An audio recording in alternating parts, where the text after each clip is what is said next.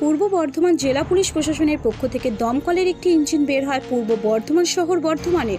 প্রতিদিনই বর্ধমানের বিভিন্ন গুরুত্বপূর্ণ জায়গাগুলোতে বের হয়। শনিবার পূর্ব বর্ধমানের বিভিন্ন প্রান্তে স্যানিটাইজার স্প্রে করা হয়।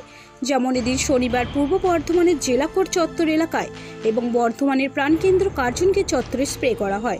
শুধু তাই নয়, বর্ধমান শহরে বেশ কিছু সবজি বাজারে যেমন নীলপুর বর্ধমান স্টেশন সবজি বাজার, বর্ধমান সর্বমঙ্গলা মন্দির এলাকায় এই স্প্রে করা হলো। প্রায় দশ জন এই পুলিশ প্রতিনিধি দল বের হয়। তার পাশাপাশি যেখানে ছোট জায়গা, দমকল ঢুকবে না, সেই সব জায়গায় হাত স্প্রে করা হয় পূর্ব বর্ধমান জেলা প্রশাসনের পক্ষ থেকে। তার বাইরে যে সমস্ত মোড়ের মাথায় রয়েছে, যেখানে মানুষের জমায়েত হয়, সেই সব জায়গাতে রাস্তার ওপর স্প্রে করা হলো এবং রাস্তার ওপরে যে সমস্ত বাইক বা যানবাহন দাঁড়িয়ে থাকে, সেই যানবাহন দাঁড়িয়ে থাকা অবস্থায় স্প্রে করা হয়।